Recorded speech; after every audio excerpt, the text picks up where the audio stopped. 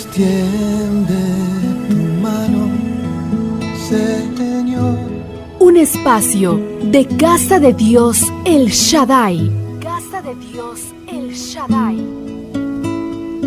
Es el momento de apegarnos a la palabra de nuestro Señor Jesucristo. Hoy te confieso, Señor. Comenzamos.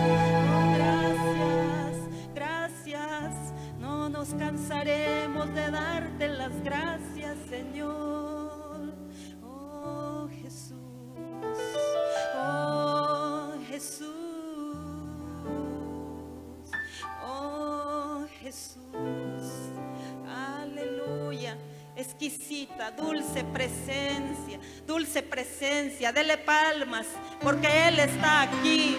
Su presencia está aquí. Él ha venido a esa cita contigo. Él ha venido para consolarte en esta mañana, para darte nuevas fuerzas. ¿Lo puedes creer que el Señor ha venido para darte nuevas fuerzas?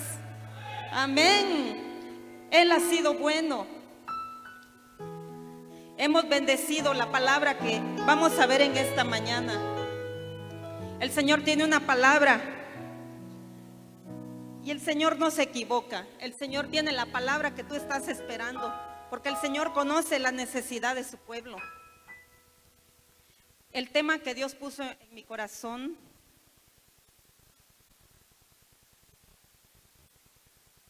se llama El Dios que cumple promesas. ¿Cuántos creen que nuestro Dios cumple promesas? Amén. Bueno, gracias. Josué 21:45 es la cita que aparece acá en la portada. Si lo pueden este, buscar y si no, pues ya lo vamos a leer. Es la que aparece como, como portada. El Dios que cumple promesas.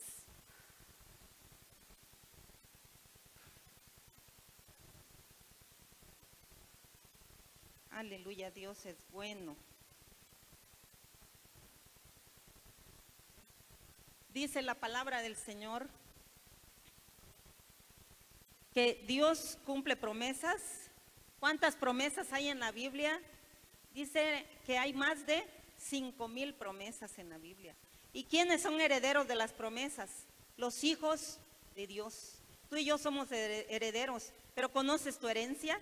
¿Conoces las cinco, no los cinco mil pesos, no, las cinco mil promesas? ¿Conoces tú esa herencia que el Señor te dejó? Por eso tenemos que escudriñar la palabra del Señor, porque cuando tengamos esa necesidad, vamos a saber la herencia que el Señor nos dejó y de ahí vamos a echar mano y vamos a tener nuevas fuerzas para seguir adelante. Eh, en la, nos vamos a la portada, por favor, este, Fernanda, no sé quién está en la pantalla. Dios siempre cumple sus promesas. No faltó palabra de todas las buenas promesas que Jehová había hecho a la casa de Israel. Todo se cumplió. Amén. Cuando Dios hace promesa, todo se cumple. Pero fue fácil. No fue fácil. El pueblo de Israel fue un pueblo muy rebelde. Un pueblo que hacía enojar mucho a Dios. Pero Dios cumplió la promesa con ellos a pesar de ser rebeldes. Amén. Dios la cumplió. No la vieron los que estuvieron en el desierto, fueron otra generación. Eso fue lo único que el Señor no quiso, pero la promesa se cumplió en sus generaciones futuras. Entonces, el Señor podemos confiar que cumple promesas. Tal vez tú no la veas, pero tus generaciones siguientes sí lo van a ver. Ese es el Dios que cumple promesas. Lo va a cumplir. Tú vas a el día que, en tu último día de vida, tú tal vez ya estés diciendo, hasta aquí llegué, pero sabes que te faltó ver algo, pero sabes que aunque te faltó ver algo, el Señor lo va a cumplir y te vas con esa fe, esa satisfacción y esa paz en tu corazón. Tal vez uno de tus hijos no era convertido, pero el Señor te hizo la promesa y el Señor lo va a hacer y tú tal vez te vas a ir sin verlo, pero tú te vas a ir en paz porque confiaste en un Dios que cumple las promesas. Ese es el Dios que conocemos, que toda nuestra generación, todos van a ser benditos a causa tuya. ese es el Dios que cumple promesas. La bendición va a descender, dice, desde la cabeza hasta los pies. Como padre de familia, esa bendición va a descender en tus generaciones, en tus hijos, en tus nietos, en tus bisnietos. Tal vez si tu abuelo fue hechicero, tu tatarabuelo fue hechicero, tú ni lo conociste, pero venía algo generacional que venía dañándote. Pero contigo se rompieron todas esas maldiciones y hoy el Señor trae una promesa para toda tu generación, porque Él es un Dios de promesas. Las maldiciones de tus generaciones anteriores no te van a alcanzar, no te van a llegar, porque hay promesas de parte de nuestro Dios poderoso. Amén, aleluya. Entonces, esa palabra, todo se cumplió. Llévate en tu corazón, no faltó palabra. Sufrieron, sufrió el pueblo de Israel por ser rebelde, sufrió, lo pagó, pero el Señor todo lo cumplió lo dice la palabra. Pasamos a la siguiente, eh, números 14, 24. Números 14, 24. Bueno, vamos a leer en el, desde el 23, 23 y 24. ¿Qué pasó con ese pueblo de Israel que era tan rebelde? Números capítulo 14, versículo 23 y 24. Dice acá la palabra del Señor, no verán la tierra de la cual juré a sus padres. No, ninguno de los que me han irritado la verá. Pero a mi siervo Caleb, por cuanto hubo en él otro espíritu y decidió ir en pos de mí, yo le meteré en la tierra donde entró y su descendencia la tendré en posesión. La tierra no verán, sus padres no vieron esa tierra, pero los hijos sí vieron la tierra prometida. ¿Por qué? Porque dice, porque me han irritado. El Señor se enojó con esa generación tan rebelde, tan mala. Veían los milagros, veían la columna de fuego, veían la nube que les daba sombra, pero aún así seguían incrédulos. Cuando llegaba el momento de la prueba, venía la incredulidad. Muchas veces nos pasa eso. Hemos, es más, incluso el Señor te ha sanado de la muerte. ¿Cuántos el Señor en el último momento hacen un pacto, Señor, si tú me levantas, yo te voy a servir. Y cuando el Señor lo levanta en sanidad, ya no le sirven. Entonces, eso le irrita al Señor, eso le enoja. Porque dice, vamos a ver más adelante, ¿por qué le enoja al Señor todo eso? Entonces, en cuanto hubo en él otro espíritu, ¿por qué Caleb era diferente a los demás?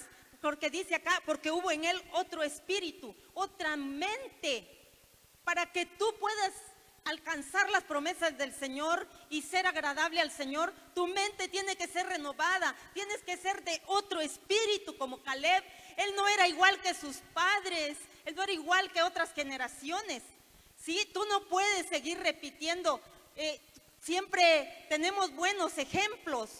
Decía Pablo que me imitéis, imítame a mí, como yo a Cristo, decía Pablo. Imitemos las cosas buenas, lo malo, deséchalo y no, y no sea piedra de tropiezo para tu vida. Dice, y en lo último dice, yo le meteré en la tierra donde entró y su descendencia la tendrá en posesión. La descendencia de Caleb, su familia, es una promesa familiar. La descendencia de Caleb iba a recibir promesas porque Caleb fue obediente.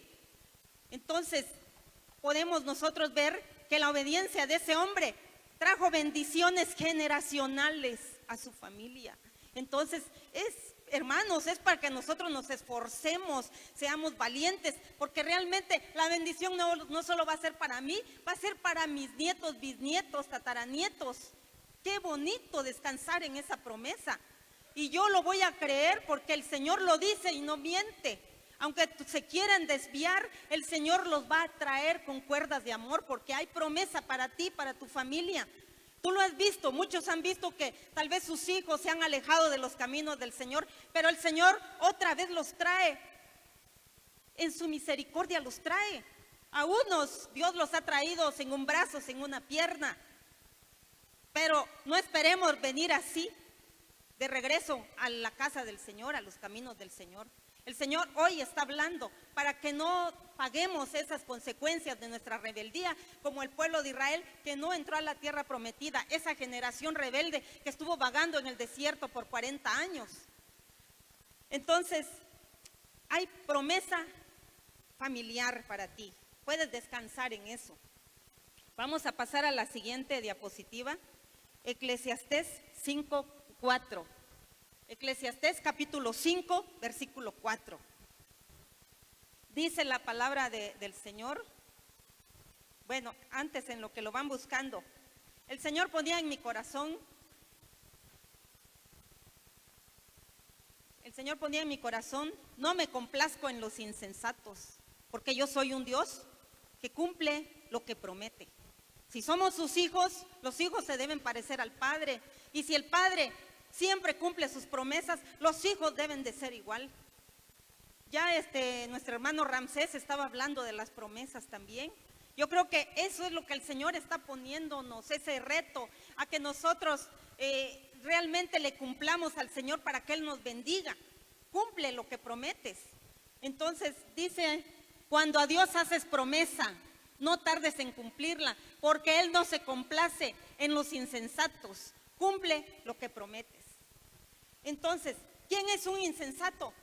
El que le promete a Dios, te prometo que si entro a... A mí me pasó, yo fui insensata también, todos pasamos por esa insensatez. Cuando yo entro a la preparatoria, bueno, quería entrar a la preparatoria, a la prepa número 2, entonces yo era un gran deseo de entrar a la prepa y entonces dije, Señor, te prometo, Señor, en mi emoción, que si paso el examen de la prepa, yo ya me quedo, me, me afirmo y te sirvo. Porque a veces estamos así, voy, no voy, y no nos definimos en el camino del Señor. Y entonces la sorpresa fue que pasé el examen. Es- Estudié en la prepa número 2 y cuando quedo, ah, estaba yo tan feliz y Señor, gracias Padre, pero me olvidé de la promesa. ¿Sí? Pasó, pero ya nunca fue igual porque el Espíritu Santo ya estaba obrando en mí. Prometiste, no cumpliste. Prometiste y no cumpliste. No había paz en mi corazón. Un año tardé y ya dije, Señor, vengo a tus pies. Porque ese año para mí fue triste, empecé a sentir que nada llenaba mi corazón, porque era el Espíritu Santo que me estaba tocando, que me estaba diciendo, diario podía yo sentir, le estás prometiendo al Todopoderoso y no le cumpliste, ¿no? Mira él cómo fue de bueno quedaste en la escuela, cómo fue de bueno el Señor. Así es el Señor de bueno que nos, nos cumple lo que le pedimos y nosotros somos tan ingratos que no le cumplimos muchas veces. Entonces, yo te llevo a esta palabra. El Señor me ponía en mi corazón, no me complazco en los insensatos, porque yo soy un Dios que cumple lo que promete. Entonces, si tú quieres agradar al Señor, cumple lo que le has prometido, pero con todo tu corazón, no por obligación. Cumple porque lo amas, porque Él ha sido tan misericordioso, ha alcanzado a tu familia, ha alcanzado a tus hijos. Entonces, cúmplele al Señor. Vamos a seguir en Josué capítulo 1, versículo 8 y 9. Bueno, vamos a leer primero el 8. Josué capítulo 1, versículo 8. Procura que nunca se aparte de tus labios este libro de la ley.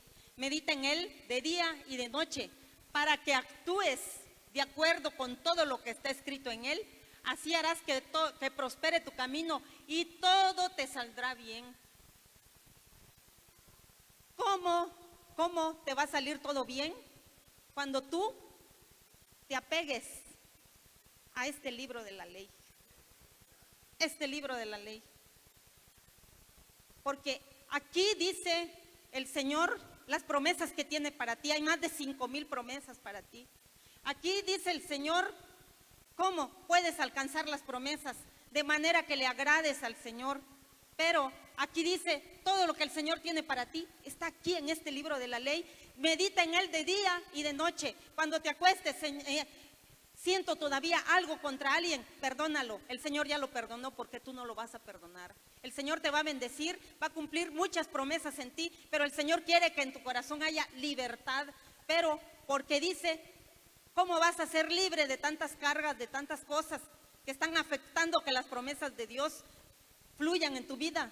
Cuando tú en esta palabra encuentras la palabra de perdón, la palabra de sanidad, una palabra de amor, una palabra de consuelo, aquí la encuentras en esta bendita palabra y dice que vas a meditar en ella y actuarás conforme a lo que está escrito, vas a actuar conforme a lo que está escrito. Fuera de lo que está aquí, no debes actuar. Aquí dice que Dios va a cumplir lo que yo le he pedido, porque yo estoy creyendo por la fe, por la fe alcanzamos las promesas. Entonces, este libro, dice acá, todo te saldrá bien, es promesa. ¿Por qué, ¿Por qué sentí poner esta cita? Porque es promesa de Dios, que si tú te apegas a este libro, todo te saldrá bien. ¿Cuántos lo creen? Todo, todo. ¿Y todo qué es?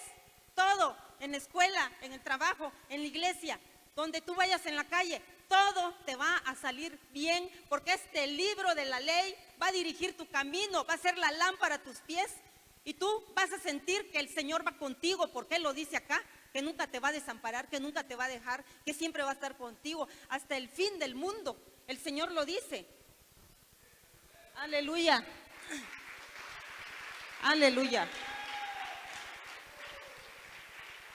Entonces, la importancia, medita en la palabra del Señor, qué importante es. No menospreciemos la palabra del Señor, no le quitemos el polvo hasta el domingo que venimos. Y ahorita se nos facilita las redes sociales, en YouTube, en, Google, encuentras tantas cosas, tanta información de la Biblia, que en un 2x3, ah, vas aprendiendo mucho. Sí, son herramientas que nos ayudan. Entonces, no, puro Facebook, ¿verdad? No, es para que le saquemos el jugo, esas herramientas en el Señor. Ahora, eh, el versículo Josué 1.9.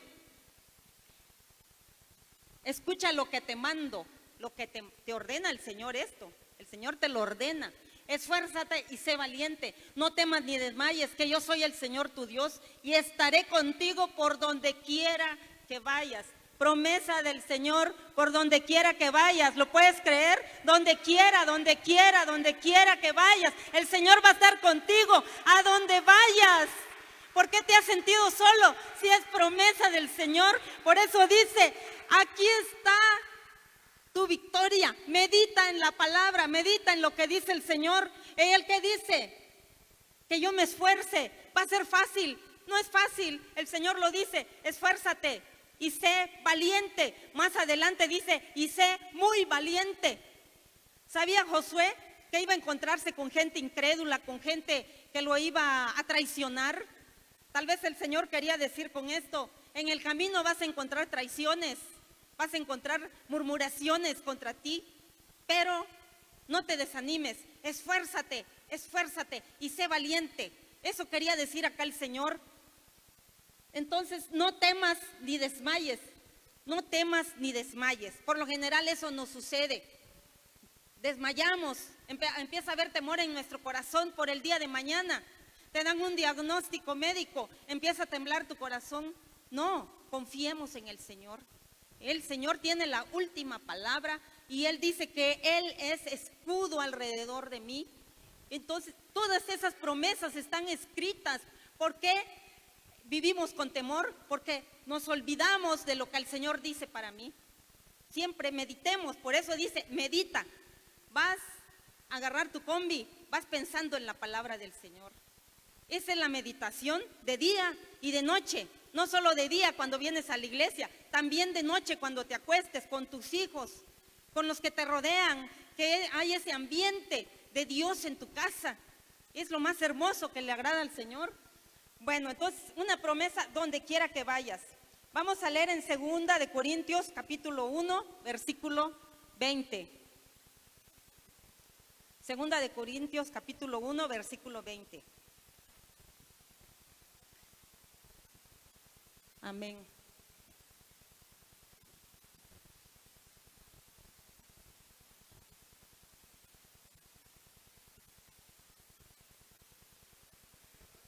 Aleluya. porque todas las promesas de Dios son en el sí y en el amén por medio de nosotros para la gloria de Dios. Todas las promesas de Dios son en el sí, el sí y en el amén. Entonces, el sí y el amén, ¿quién es el sí y el amén? El sí de Dios y el amén de Dios. Vamos a ver la siguiente cita. Pasamos a la siguiente diapositiva, por favor. Escribe el ángel de la iglesia en la Odisea, he aquí el amén, el testigo fiel y verdadero, el principio de la creación de Dios dice esto, he aquí el amén, el amén, está con mayúscula, el amén. ¿A quién se refiere ahí? ¿Quién es el amén? Cristo, el amén, el testigo fiel, fiel y verdadero, y el principio de la creación de Dios. Esas tres cosas es nuestro Señor Jesucristo. Es el amén. ¿Se dan cuenta que el amén? Porque todas las promesas de Dios son en el sí y en el amén. ¿Quién es el amén? Todas las promesas de Dios son en el amén. El sí de Dios es Cristo. Amén. Entonces, todas las promesas de Dios son en el amén. Y el amén lo está tomando como un nombre de Jesucristo acá. En el amén. Está con mayúscula. El amén significa así sea. Es cuando nosotros eh, confirmamos algo, decimos, sí es cierto. Cuando yo les digo, el Señor está aquí, amén, ustedes dicen, amén, o sea, sí es cierto, es verdad. Entonces, el amén, que es Jesús, es el camino, la verdad y la vida. Jesús es el amén de Dios, Jesús es la verdad de Dios. Amén.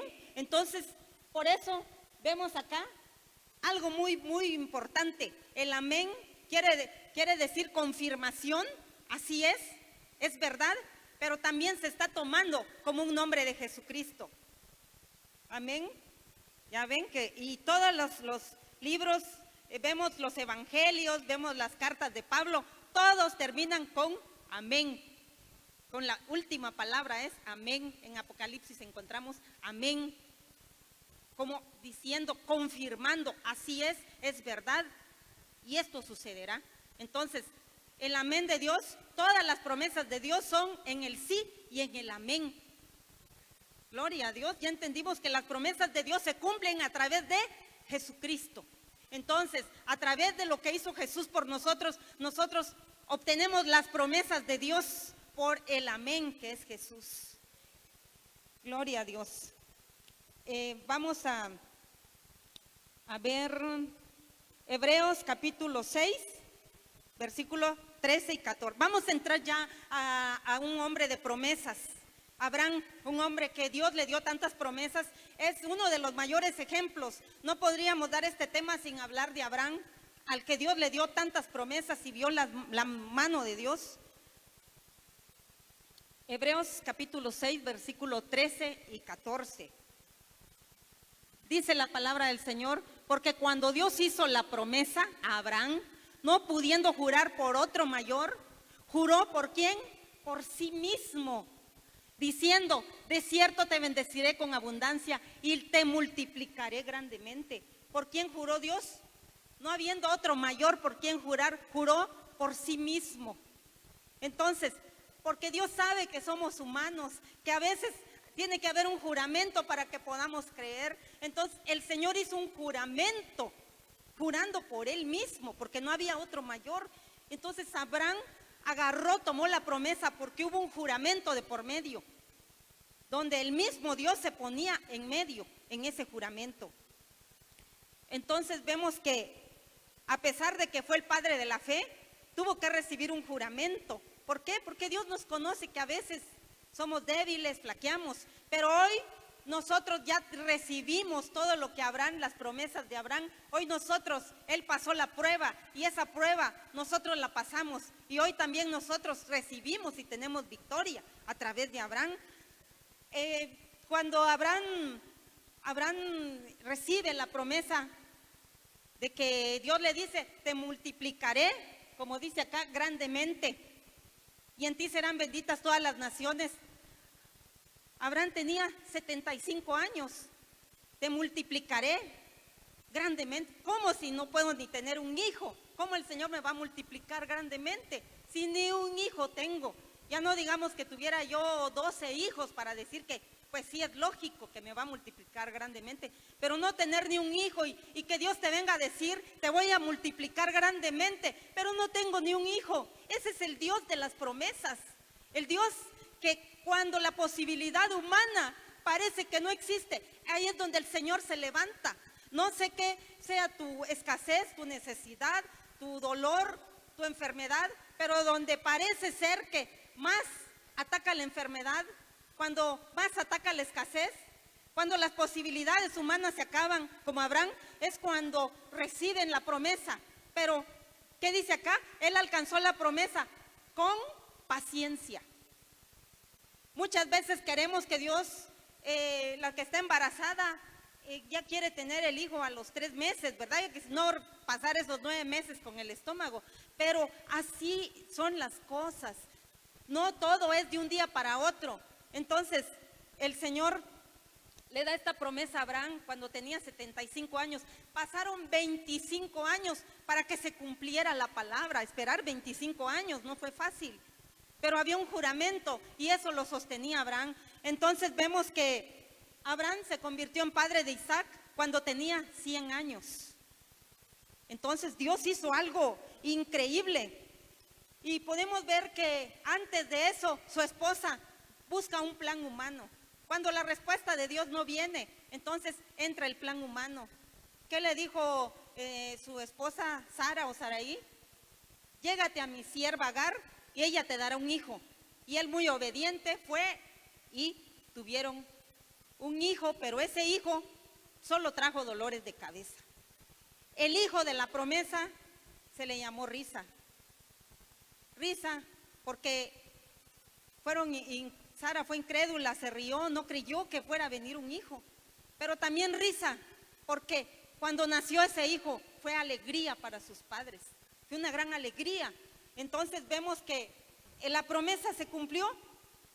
Ahora, ¿por qué te llevo a esto? Para que podamos entender que no es fácil alcanzar la promesa, pero hoy lo tenemos más fácil, porque solo nos basta la fe para alcanzar las promesas de nuestro padre Abraham. Solo nos falta la fe. La fe, no tienes que hacer nada más. No tienes que ir a sacrificar a, Isaac. Él tuvo que ir a sacrificar a Isaac y fue probado. Fue probada su fe. Pero cuando justo cuando ya lo iba a degollar, el Señor le dice, sé que me temes, no lo hagas. ¿Quién va a llegar hasta el último punto de obediencia? Solamente aquel que ha creído que Dios, aunque él hubiera matado a su hijo Isaac en, ese sacrificio, él sabía que aún del fuego, del sacrificio que hubiera hecho, el Señor podía levantar nuevamente a Isaac de las cenizas. ¿No había creído Abraham en un Dios poderoso?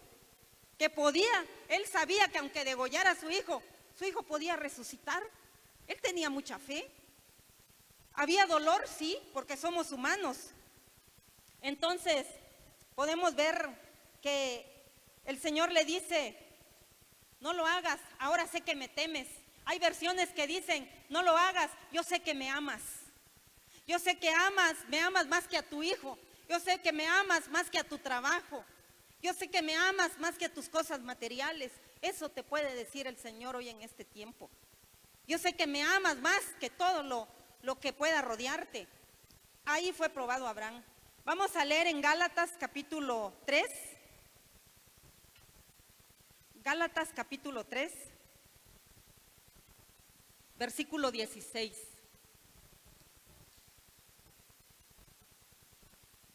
Gálatas capítulo 3, versículo 16. Aquí viene, pongamos mucha atención porque eso nos va a bendecir mucho, para que nosotros nos afirmemos y no dudemos que las promesas dadas a Abraham son por nosotros, para nosotros, a través de Cristo. Dice la palabra, ahora bien, a Abraham fueron hechas las promesas y a su simiente, no dice a las simientes, como si hablase de muchos, sino como de uno, y a tu simiente, la cual es Cristo. Hasta lo está explicando acá en este versículo. Dice que no habla de muchas simientes, solo habla de una simiente. ¿De qué simiente? La simiente de Cristo. Y ahí pertenecemos tú y yo a la simiente de Cristo y por eso alcanzamos las promesas. Entonces dice que las promesas fueron hechas a Abraham. A Abraham se hicieron las promesas, pero esas promesas fueron hechas a Abraham y a su simiente. ¿Y la simiente quién es? Cristo. Y nosotros somos simiente de Cristo. Lo vamos a ver en la siguiente diapositiva, por favor. Gálatas 3, 19. 3.29, perdón, 3.29. Ahí está mal en donde lo puse. Es 3.29. Gálatas capítulo 3, versículo 29. Aquí nos confirma lo que leímos anteriormente. Y si vosotros sois de Cristo, ciertamente linaje de Abraham sois y herederos según la promesa, más clara ni el agua. Dice, y si vosotros sois de Cristo, ciertamente linaje de Abraham sois y herederos según la promesa. Si sois de Cristo, sois herederos según la promesa. Entonces, la promesa es de nosotros. Tú y yo somos herederos. ¿Por qué? Según la promesa. Porque aquí lo dice que la promesa fue para Abraham y la simiente de Cristo. Tú y yo somos la, esa simiente de Cristo. Entonces, eh, cuando tú recibes a Cristo, ya recibiste las promesas de Abraham. Así de fácil. A veces pensamos que necesitamos hacer tantos sacrificios, tantas eh, cosas, ¿verdad? Como en, la iglesia tradicional han enseñado. Pero cuando tú recibes a Cristo, recibiste el paquete de bendiciones, el paquete de promesas para tu vida. Y eso te va a mantener firme. Bueno, vamos a la siguiente diapositiva. Aquí, yo tengo acá la agenda que usaba el pastor. Aquí están anotados los nombres de todas las personas que sembraron en esta iglesia. Lo más importante es que está en el cielo. Lo que tú diste está ahí anotado en el cielo. Aquí está el nombre de todos los que dieron, todo lo que se gastó, cómo se gastó, cuánto se pagaba de albañiles. Son cantidades que de verdad uno se asombra cómo podía haber ese dinero. Pero el Señor cumplió su promesa. El Señor me ponía, tienes que mostrar lo que se ha gastado, como eh, aquí hablamos hasta el año 2017, del 2015 al 2017, estamos hablando de dos años. No entra lo que es eh, el altar de cedro, todo lo que se gastó acá, no entra todo lo que el terreno del, del área de niños, el terreno, solo menciona la construcción, lo que se gastó en construcción, no menciona todavía la cafetería, porque eso todavía no, no estaba en el 2017. La cafetería, el terreno que primero se compró y luego se edificó la cafetería de manera sobrenatural. Entonces, esto es con puña y letra de- del pastor. Yo lo veía y dice, construcción del templo. El templo que donde estamos, dos millones novecientos cinco mil pesos, cuando solo iniciamos con 80 mil pesos. ¿Creen ustedes a las promesas? Amén. Esas son pruebas de que con 80 mil pesos vas a empezar una gran obra. Ahora sí que ahí sí soy hijo de Abraham porque tengo fe. Entonces, eh, dos millones novecientos ochenta y cinco mil pesos, solo la construcción del templo. Eh, construcción departamento de niños, 453 mil pesos, el departamento de niños, sin contar el costo del terreno, solo la pura construcción. Hablamos casi de medio millón. Compra de un lote de terreno 10 por 20, 155 mil pesos. Al lado de la cafetería es otro terreno que, que tenemos. ¿Sí? Los que están en, en venta son los que aparecen con esa lona. Pero ese, ese, este terreno fue de 155 mil pesos, el que está a un costado de la cafetería. Eh, equipo de sonido, 255 mil pesos el equipo de sonido nada más. Y eh, compra del terreno para construir el templo, El, el terreno para construir el templo fue de 1.600 metros eh, cuadrados. Tuvo un costo de 550 mil pesos, el puro terreno de la iglesia, 550 mil pesos. Y eh, la construcción, así que hablamos de más de 3 millones de pesos, 4 millones de pesos, sin contar la cafetería.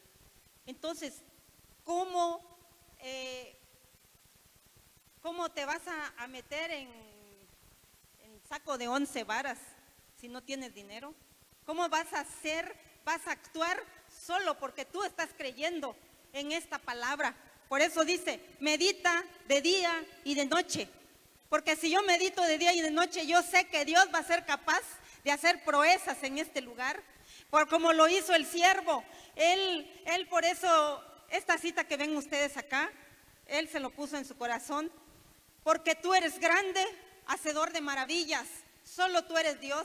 Yo cada día que vengo acá al servicio, yo so- solo veo la frase, hacedor de maravillas. Y yo digo, sí, Señor, este lugar se va a llenar, este lugar ya no va a alcanzar. ¿Cuántos creen que el Señor puede hacer un auditorio de este lugar? Y muchas almas se van a convertir, porque el Señor dice, la gloria postrera será mayor que la primera. Yo lo he creído, el Señor me retaba, el Señor me retaba, me decía, no puedes predicar de promesas si tú no lo crees. No puedes predicar promesas si tú no lo crees. Y yo dije, sí, Señor, te creo.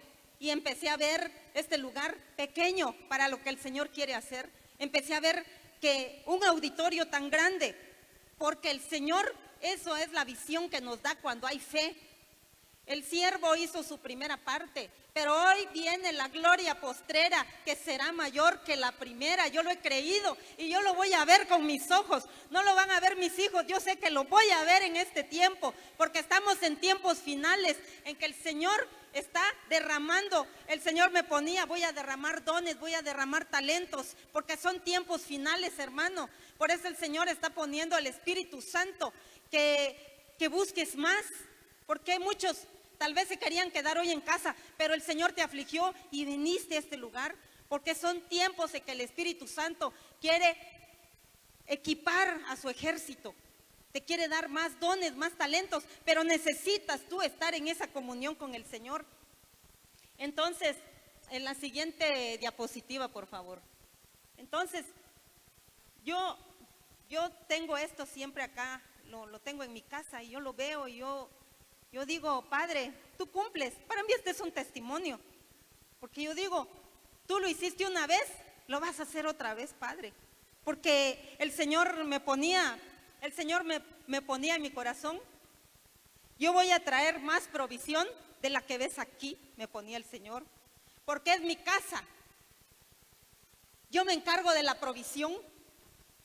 Es mi casa, me decía el Señor.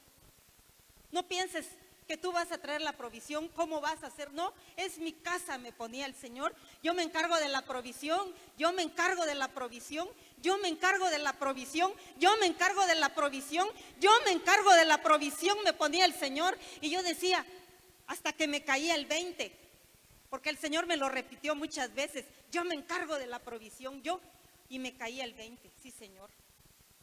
No nos vamos a estresar, no nos vamos a preocupar, solo vamos a comprar sin dinero y el Señor lo va a hacer, porque esa es la fe, hay promesas en este tiempo y en los tiempos de crisis es cuando el Señor te va a bendecir más. ¿Por qué no pensemos como el mundo? No seamos como el mundo, porque en tiempos difíciles es cuando el Señor más te va a bendecir, porque el Señor quiere bendecir esta casa, el Señor te va a bendecir a ti. Para que el Señor traiga provisión, tiene que bendecir a sus hijos primero. Y el Señor en estos tiempos difíciles va a mostrar su gloria. Yo lo creo, que el Señor te va a bendecir en estos tiempos de dificultad, en estos tiempos de escasez, cuando parece que en vez de contratar empleados, los están despidiendo. Así están en estos tiempos. Entonces, hay promesas del Señor. En Isaías 55, 11. Esta palabra quiero que te la lleves en tu corazón. Que la palabra del Señor no regresa vacía. Va a ser lo que quiere en tu vida, en tu corazón, en tu familia. Lo va a hacer el Señor. Esta palabra tiene poder y no regresa vacía. Lo dice acá. Vamos a, leerlo. Isaías capítulo 55, versículo 11. Así será mi palabra que sale de mi boca. No volverá a mí vacía, sino que hará lo que yo quiero y será prosperada en aquello para que le envíe. Es un refrigerio esta palabra. La palabra que el Señor envía a tu vida no va a regresar vacía. Y yo sé que hoy esa palabra ha tocado tu corazón, ha tocado tu vida y no vas a regresar vacío a tu casa. Esa palabra vas a llegar con un fuego en tu corazón de que el Señor va a hacer grandes cosas en tu ministerio, no solo en, tu, en tus finanzas, en tu ministerio, en tu familia, en tus hijos. El Señor los va a levantar, los va a prosperar porque hay promesas de Abraham para tu vida. Es para la simiente que eres tú también. Entonces, eh, vemos que la, promesa del arrebatamiento, tenemos esa promesa, que el Señor está preparando moradas para que nosotros estemos donde Él está. Entonces nosotros podemos tener paz y en medio de cualquier tormenta hay paz en nuestro corazón. Porque sé a dónde voy, si el día que yo ya no esté, el día que yo ya fallezca, sé a dónde voy, sé con quién me voy. Y sé que mis hijos mis generaciones nos quedan desprotegidas porque hay promesas de parte del Señor. Como Abraham, él pudo morir en paz. Como David, él pudo morir en paz. Porque David no construyó el templo de Dios, fue su hijo Salomón el que lo construyó. El Señor le dijo, tú no vas a construir el templo, va a ser tu hijo. ¿Y por qué? Y, y David de, por qué no podía entender, pero el Señor le dijo, porque tú has derramado mucha sangre. David fue un guerrero, derramó mucha sangre, pero porque así se movían esos tiempos de guerra. Entonces, el que construyó casa fue su hijo Salomón, pero fue promesa de Dios y Dios lo cumplió y Salomón construyó la casa de Dios y Dios trajo la provisión, Dios se encargó de la provisión. No fue Salomón que andaba buscando a ver quién quiere esto, quién quiere dar el otro para el templo, no. Fue Dios porque fue una promesa que hizo a David, su padre, y entonces ese templo fue construido por su hijo Salomón. Promesas familiares, promesas generacionales. Y Salomón vio promesas en sus hijos y así fueron las generaciones. Entonces nosotros ¿Por qué vamos a tener temor? Si tienes una enfermedad, hay promesa para ti. Dice la palabra en Éxodo, el Señor, yo no voy a traer las enfermedades que vinieron para Egipto, no van a venir para ti. El Señor trae promesas. Yo te voy a sanar, yo te sanaré. Y por tu llaga, por mi llaga tú has sido curado, dice el Señor. Entonces, es promesa del Señor, Padre, tú lo vas a hacer. Yo solo descanso, yo solo confío en que tú lo vas a hacer. Esa es nuestra parte, hermanos, esa es nuestra parte. Tal vez podría ser la más fácil, pero nosotros la volvemos difícil, porque el Señor ya lo hizo todo. Las promesas, todo es para nosotros en este tiempo, pero no caigamos en la insensatez. Seamos de palabra como el Señor, que tú sí sea sí y que tú no sea no. Así quiere el Señor, hijos firmes, que no hoy digan sí y mañana no. Esos son insensatos delante del Señor. Eh, te invito a que te pongas de pie. Dios es bueno, Dios es misericordioso.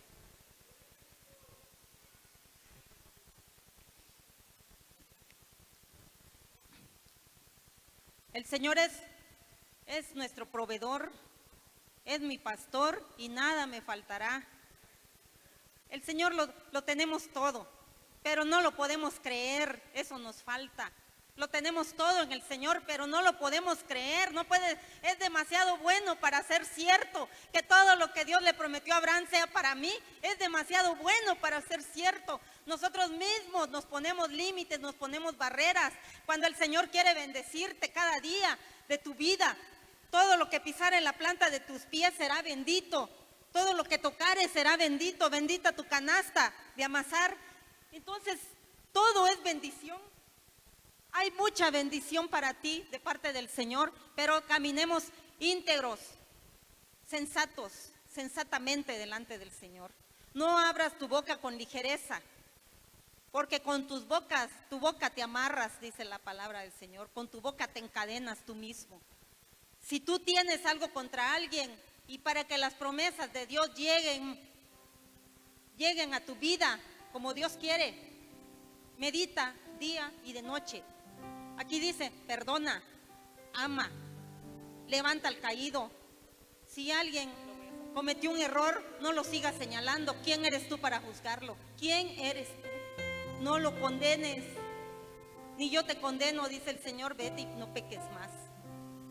Si somos simiente de Abraham, las obras de Abraham hagamos. Si somos hijos de Abraham, las obras de Abraham. Misericordia, perdón. Somos hijos de Dios, misericordia, perdón y cumple lo que prometes. Porque el Señor no se agrada de los insensatos. Y el Señor quiere bendecirte abundantemente. De manera que tú no te puedes imaginar, te quiere bendecir el Señor. Pero es tiempo de que tú digas, Señor, perdóname si me ha faltado fe. Espíritu Santo, lléname de más de fe. Yo te pido que cierres tus ojos y tú des gracias, Padre, porque puedo recibir esas promesas por medio de Abraham. Hoy soy simiente de Cristo, soy simiente del Altísimo. Gracias, Señor, gracias, Padre.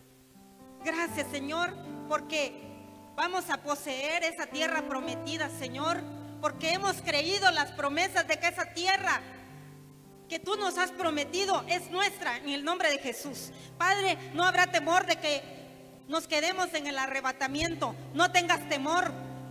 Endereza tu camino y el Señor hará. Endereza tu camino, el Señor hará. Oh, el Señor hará, el Señor hará, el Señor hará. Oh Señor, gracias Padre. Tú eres hacedor de maravillas. Hoy, Padre, declaramos que tu bendición desciende en este lugar, Padre. Gracias, Jesús. Padre bendito, hoy descansamos en tus promesas. Perdónanos, Señor, si no hemos creído. Todo lo que tú nos has dado han sido maravillosas promesas, Padre, de sanidad, de prosperidad en nuestra alma, en todo nuestro ser, de bendición para nuestros hijos, que ellos serán alcanzados, Padre. Nadie se quedará, Señor, sin tu bendición. Que nuestros sobrinos serán alcanzados. Que nuestros tíos serán alcanzados, Padre. Hoy clamamos por esa bendición familiar, Señor. Si tú, algún tío, si tus padres no han, no han sido alcanzados por el Señor, pídele al Señor. Te pido, Padre, esa bendición familiar, Padre. Que esa bendición llegue a mis padres, a mi madre. Que esa bendición llegue a mis abuelos. Que ellos puedan conocerte, Señor. Que la promesa se cumpla en mis abuelos, Padre. En mis tíos, en mis sobrinos, Señor. Alcánzalos, Padre, por todos aquellos de tu familia que no conocen al Señor. Pídele al Señor, alcánzalos, Padre, porque hay promesas y yo lo creo, Señor. Yo lo creo, que tú los vas a alcanzar, que tú los vas a tocar, Señor. Esposo, si tu esposa no conoce del Señor, clámale, porque hay promesas de parte del Señor. Que si tú clamares, Él te responderá. Clama que yo te responderé. Lo creemos, Padre. Lo creemos, Padre. Hay promesas. Tú harás poderosas cosas en mi vida,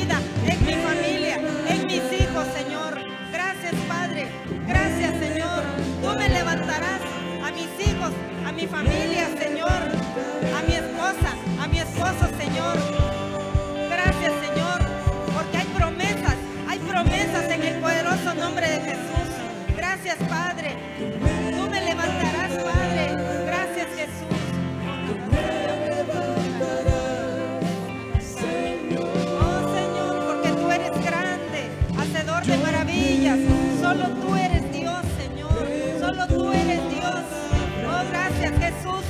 Gracias, Jesús, por dar tu vida en esa cruz. Porque hoy tengo nueva vida. Porque hoy soy heredero de las promesas. Por ese sacrificio en la cruz, hoy tengo herencia. Hoy no estoy huérfano. Hoy tengo herencia por ese sacrificio en la cruz, Señor. Gracias por mi salvación. Porque tú has prometido que nunca me desampararás. Que no estoy solo, Señor. Padre Santo.